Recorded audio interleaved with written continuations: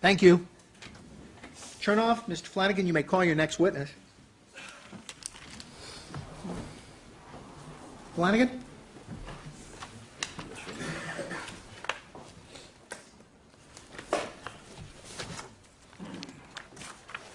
The witness would be? Mike Henson. Thank you.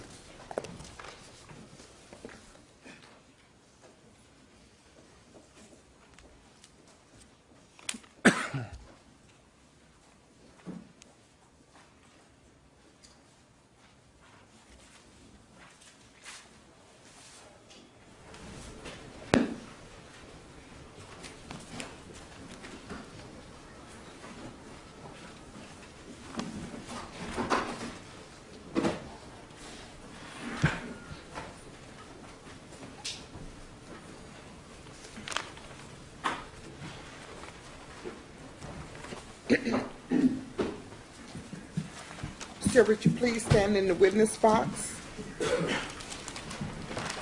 Do you solemnly state that the testimony you may give in the cause now pending before this court shall be the truth, the whole truth, and nothing but the truth, so help you God? I do.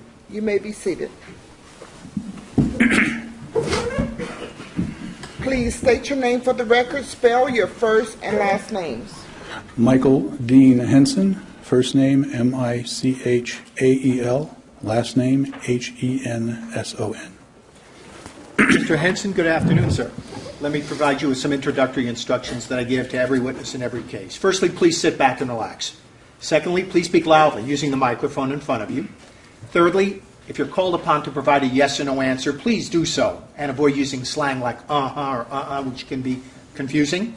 And lastly, please wait until you hear an entire question before you even start to answer it, even though you may think you know what the question asks. Is that okay? Yes. Thank you. This be direct examination by the defense. Mr. Flanagan. Thank you, Your Honor. You're welcome. Mr. Henson, what's your occupation? I am the Technical Operations Officer at Pacific Toxicology Laboratories, which is the parent company of Forensic Toxicology Associates. What does a technical officer do at Pacific Toxicology? I manage the, the technical operations of the laboratory and provide technical consultation to the staff and to